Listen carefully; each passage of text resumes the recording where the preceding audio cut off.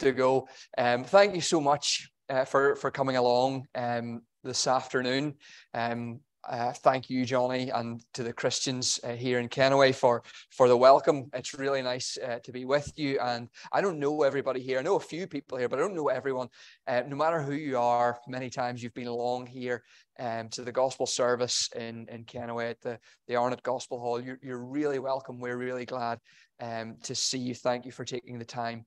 Uh, to be here today. Now, I just want to read uh, a couple of verses with you from the Bible uh, first of all, in Paul's first letter to the Corinthians, First Corinthians chapter 13. Please, First Corinthians chapter 13.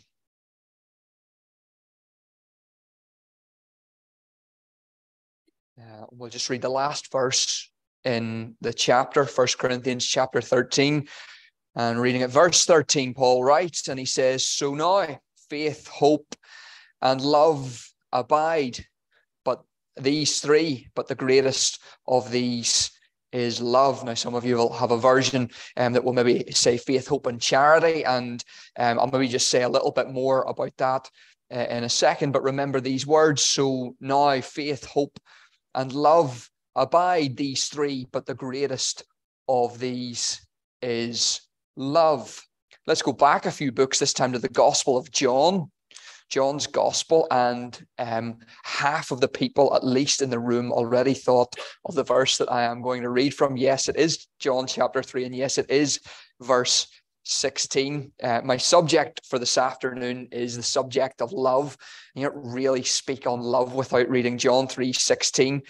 Um, it's a marvelous, marvelous verse. Let's read it together. John chapter 3, verse 16 says, For God so loved the world that he gave his only begotten Son, that whoever believes in him should not perish, but have eternal life.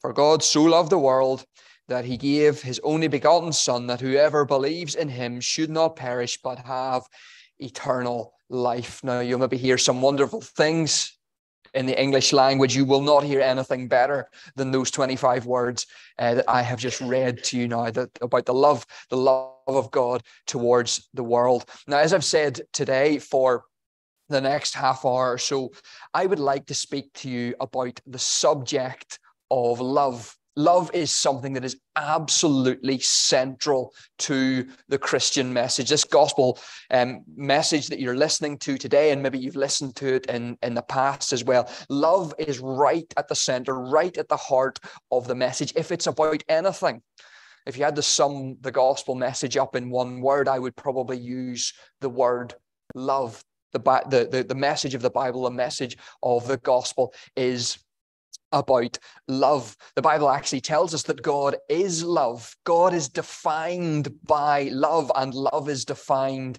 by, by Him. And so, maybe before we go any further, and I, I know how maybe this is going in the minds of some of you. I used to sit in in meetings like this and you know very quickly switch off. So if you're going to switch off, just listen to the, the, the, thing I'm going to say for the next 30 seconds. I would rather you didn't switch off at all. But but if you forget everything else I say, remember this: there is a God in heaven who loves you. He cares about you intimately and deeply. And I don't I don't know very many people here today, and maybe you feel nobody really loves me.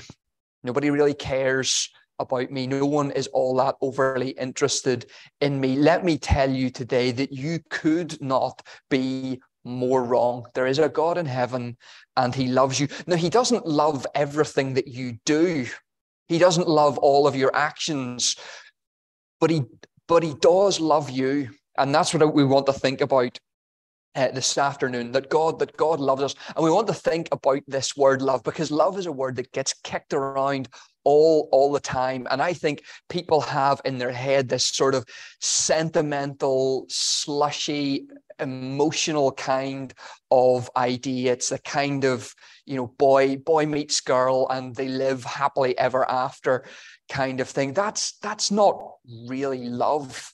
That's that's Disney love we're, going to talk today about something that is much richer, much, much fuller, and much uh, more significant. And so I want to think about five different things in relation to love, five things that love is. And the first thing is, is this that love is honest. Love tells the truth, even when you do not want to hear it. Love will tell you the things that you need to hear. And you probably all have people like this in your life. There are people, and they will confront you with things that are uncomfortable, things that you don't like hearing, things that you wish that they never bothered opening their mouth and saying. But because that person loves you, they are willing to say things that you maybe don't want to hear, and they maybe know that you don't want to hear it, but because they love you, they will tell you the truth anyway. So, for example, if you're coming along to this gospel meeting, and maybe you've listened to, to the message of the Bible before, you will have heard preachers saying things like this You are a sinner. You are guilty before God. If you don't repent of your sin and trust in the Lord Jesus, you will be lost forever. That's hard to hear. It's not particularly easy, by the way, just for me to, to stand up here and, and say that and it's not easy for you to hear. But but the thing about love is this that love tells the truth.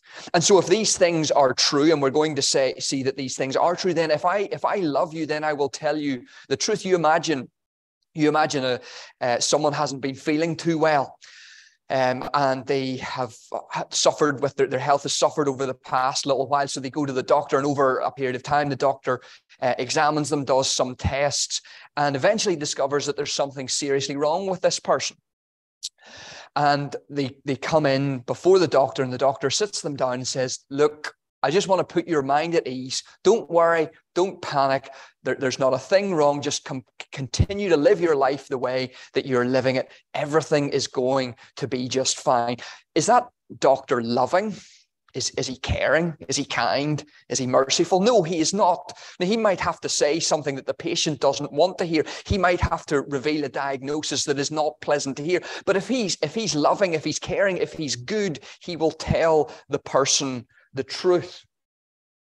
And maybe you're sitting sitting this afternoon and you're thinking, well, that's all very well, but I don't have a, a, terminal illness. I don't have anything particularly wrong with my health. And yet you're standing up there and you're telling me that I'm a sinner, that I have done wrong in the sight of God, that I don't deserve to be in heaven. What gives you the right to judge me? How can I stand up here and judge you? Well, I can't. I have no right to judge you whatsoever. I'm a sinful person just like you. I am no different from, from you are. And the Christians that meet here in the Gospel Hall in Kennoway, they are just exactly the same as you are. We are all the same. The Bible actually tells us that there's no difference. All have sinned and come short of the glory of God. So I'm not standing up here and judging you. I'm standing up here and telling you actually lovingly, caringly that God has already judged you. The Bible tells us that the person that believes on the Son has everlasting life, and the person who believes not the Son and who receives not the Son shall not see life, but the wrath of God abides on that person.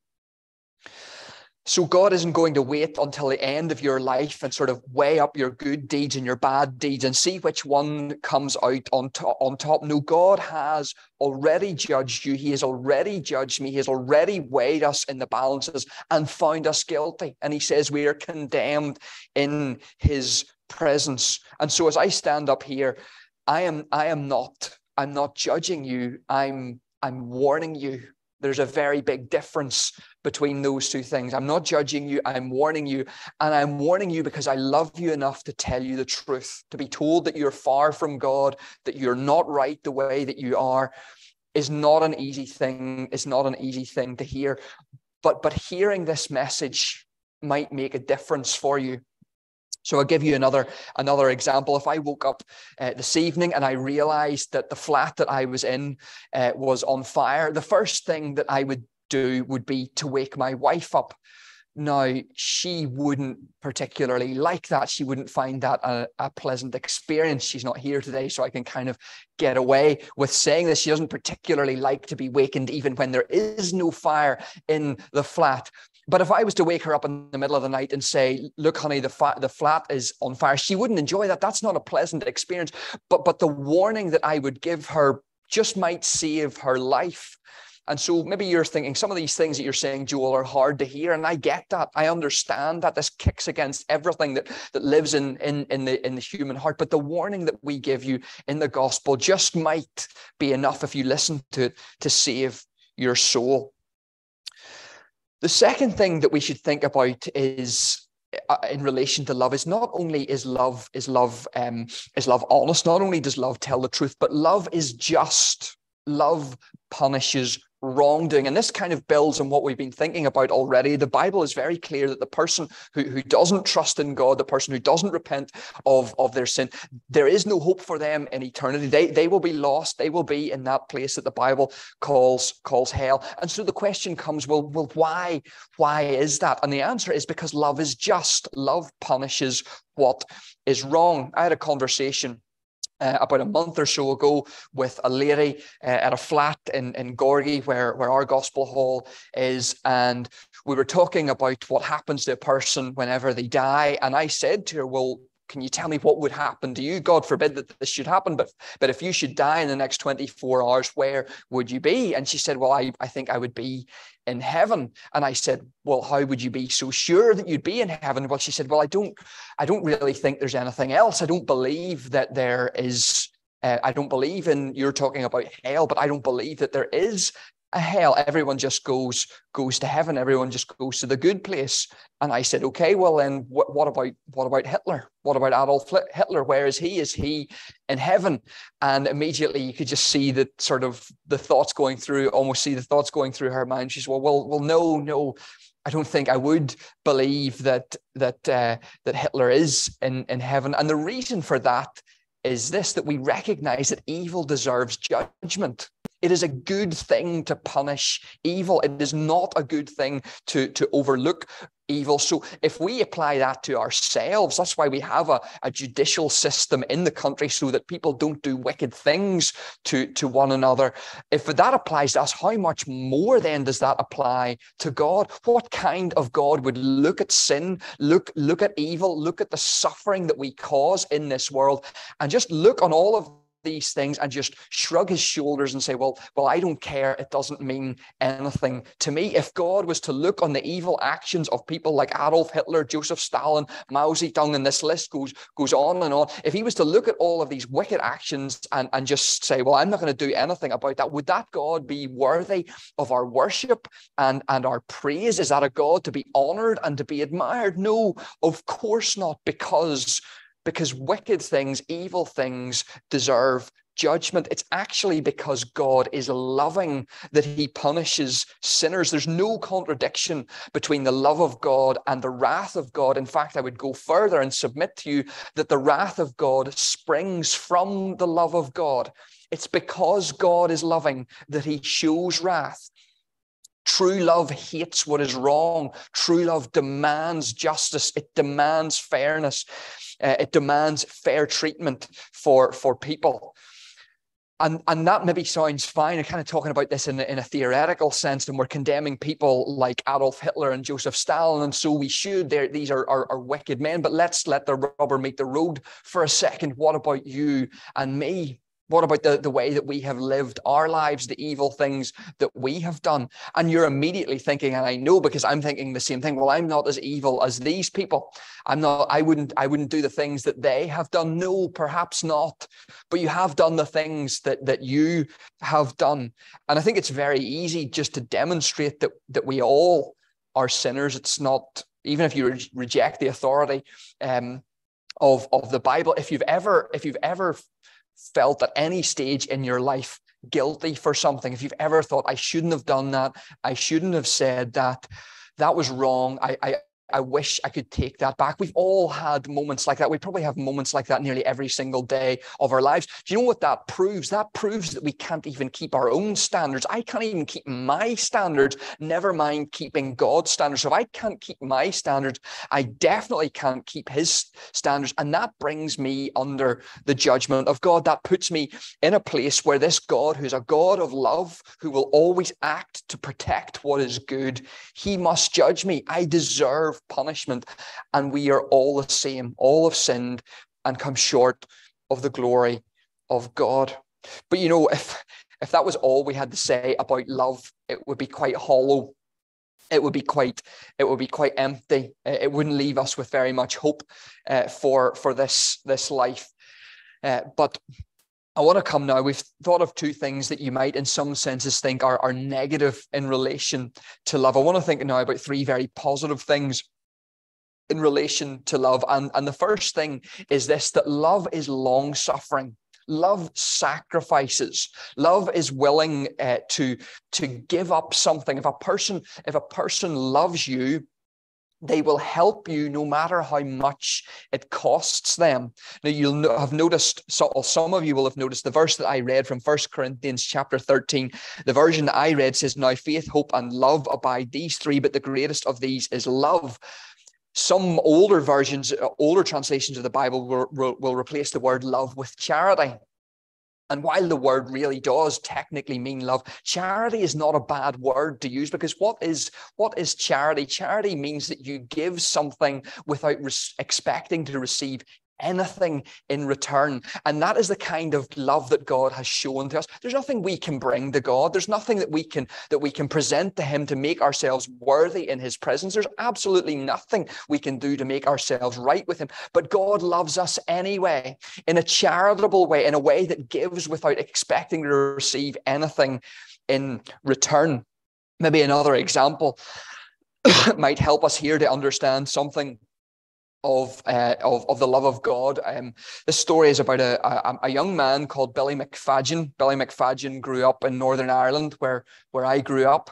Um, in fact, he grew up in the in the same city in the same part of the city um, that that I grew up, and that's kind of um, by the by. But in in in 1914, as a boy of really just just a boy of of 19 years of age, he was called up uh, to go and serve um, conscripted to go and fight during the First World War. And, and he went and he was transported over to France. He was there for, for a couple of years. And during the Battle of the Somme, which I think either took place in 1915 or 1916, my memory just it just escapes my memory just right now. But anyway, during the Battle of, of the Somme, he was in a trench um, and, and a sort of a communal area with it within within one of the trenches, and he was sitting there on a on a on a bench, and there was also a group of other men sitting with him, and and round the, the edge of the trench, this communal area of the trench where they were sitting, there was also lots of boxes holding different supplies and munitions, all these different kinds of things. Um, and they, they were they were sitting there, the war's going on all all around them, and, and then suddenly, just almost right beside where they were, there was a massive explosion. A, a, mortar shell was fired from, from the German side and exploded right beside the, the, the, the trench where, where they were sitting. And, and the force of the blast was so powerful that it knocked a number of the men off their seats. And it also knocked quite a lot of the boxes um, that were on the shelves round the edge of the trench onto the ground. Billy McFadzean looked up and he noticed that from one of these boxes, three grenades had rolled out and he noticed that from one of the grenades, a pin had been dislodged. Now, you probably know as well as I do, as soon as you take a pin out of a grenade, you have just a few seconds before the grenade detonates and explodes and causes mayhem all around it. So he only had a split second to act. And, and what he did in, in those seconds was this he got up and he threw himself on top of the grenade and it exploded beneath him and he died instantly. But the men who were with him that day, they survived. They lived because he died. Because he gave his life, they were able to survive. And I think that's an astonishing thing. That's the world would be a better place if there were more people uh, like that, if, there, if people behaved in that in that kind of way more. The Bible actually backs that up. The Lord Jesus said, Greater love has no man than this than that a man lays down his life for his friends. In human terms, the greatest love that we can display is to give our lives for those that we love. And that's a, as I say, that's a very commendable thing. That's a very honorable thing. But the love of the Lord Jesus, the love of God towards you goes even further. Romans, Paul writing to the Romans in chapter 5, he says this When we were yet without strength, in due time Christ died for the ungodly. He said it would be an unlikely thing that somebody would die for a righteous person, maybe for a good person. Some would even dare to die, but God commands god demonstrates god puts on his on display his love toward us in that while we were yet sinners christ died for us for when we were enemies with god we were reconciled to god by the death of his son and i think the idea behind those verses is this. If you've ever um, been to a, a, jewelry shop and, and you want to to to buy um, something, particularly if it's made of, of diamonds or, or something like that, what, what the jeweler will often do is before they lift the the, the ring or, or the necklace or whatever it is out of out of the box, they will they will set down a black cloth on on the desk and then they'll take the ring out and they'll put it they'll put it on top of of the black cloth. And and the back the backdrop the dark backdrop and um, that the back the black cloth provides it, it brings out something even even more beautiful even more stunning that, that that can be seen in in the diamond. The idea in in in, in romans chapter 5 is is this the, the way that god has shown his love is against the black backdrop of our sin, against that darkness, our rebellion, our hostility, our going away from God, against that backdrop, God has sent his son to die for us, that we might be saved, that we might be delivered. And so the love of God is not like human love. Human love goes out towards our, our, our friends, to those who love us in return, but, but divine love goes out to those who are the enemies of God, to those who are opposed to Him. But let's think now. We've thought about how love is, is long suffering. Let's think about how love love is generous because what is it that the love of God has actually has actually um, brought us into? Love, love is generous. Love gives. And look at in John chapter three and verse sixteen, we see what the love of God brings us into. It's so that people may not perish but have eternal life, everlasting life. The Bible calls us in other places living, living water, a new, a new birth. It is a hope beyond this world, and this, friends, is is open to you. It is open to anyone actually who is willing to come and put their trust in in the Lord Jesus. Just to illustrate that, the story from from the Bible, you can read read about this in Luke in Luke chapter 23. The day that the Lord Jesus was crucified, he wasn't crucified alone. He was crucified with two two other people. They were they were thieves, um, common criminals, possibly possibly even murderers. Um, we, we don't know for, for certain all, all the list of their crimes, but certainly very wicked men. And they were crucified on either side of the Lord Jesus. Um, and, and initially, they began to, to mock and to ridicule the Lord Jesus. But then one of the other the, the, the other one of these two men had a moment of enlightenment and he began to realize and he actually said to his friends do you not fear god seeing that we are under this condemnation this man, we, we are getting what we deserve for the deeds that we have done. We deserve this crucifixion, but this man has done nothing wrong. He has done nothing amiss. And then he turned to Jesus and he said, Lord, remember me when you come into your kingdom. And I can just picture, and maybe I'm going to let my imagination get the better better of me here, but I just picture picture the scene in in heaven when that man arrived in in heaven and the angel comes to him and and and he says, "Well, you know, it's it's great, it's great, it's great that you're here, but I'd maybe just like to ask you a few a few questions. Could you tell me what what Sunday school you went to?" And the man, so I've never never been been to Sunday school. Oh, right, right, okay, okay. Um, could you tell me when you were baptized? I wasn't. I, have never been baptized. I don't even know what what that that means oh right and, and you're not a member of a church then? He said I'm, i've never never been to church in in in my in my life. And you can just imagine the the exasperation almost of the angel. And he says to him well he says well then how how are you here? Do you know what i think the answer that that man would give? He would say something like this the man on the middle cross said i could come the man on the middle cross said i could come. You know, some of those list of things that I gave you a second or, or two ago, I have done all of those things.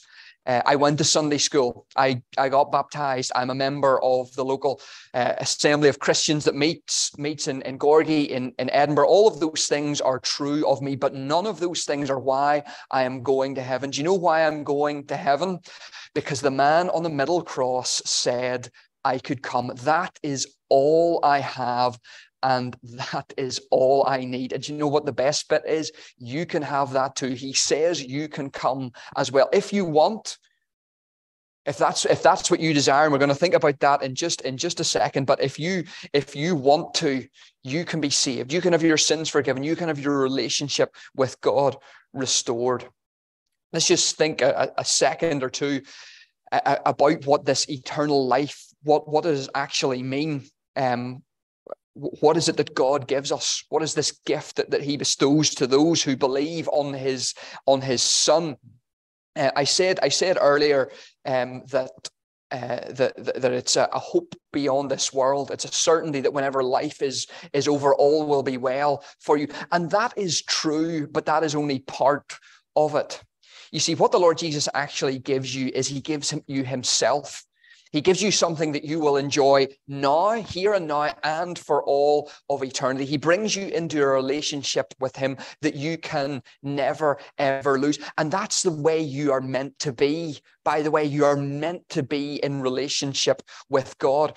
If you, uh, if you read in the beginning um, of the of the Bible in the first book and the first chapter, Genesis chapter one, you will read about God creating a number of of different things. You'll read about God creating plant life, and when God creates the plant life, He speaks to the earth. He speaks to the ground.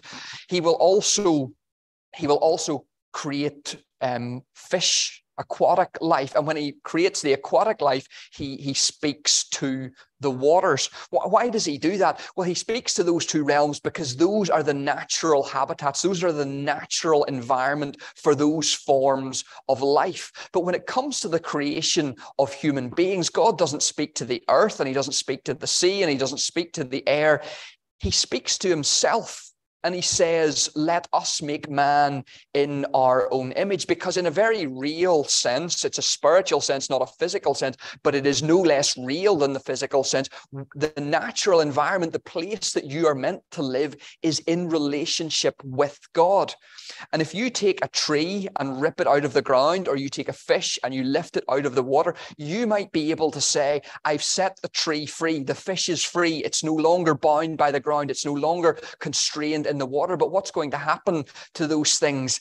They're going to die because they're severed from the thing that gave them life. Now, in, in our lives, it is possible to live in one sense as if we were free from God. You can ignore God's offer towards you. You don't have to accept the gospel. You don't have to obey his his commands. But by doing that, you are severing yourself from the one thing that can give you life you're meant to live. The natural environment, the place where human beings are meant to abide is in loving relationship with God.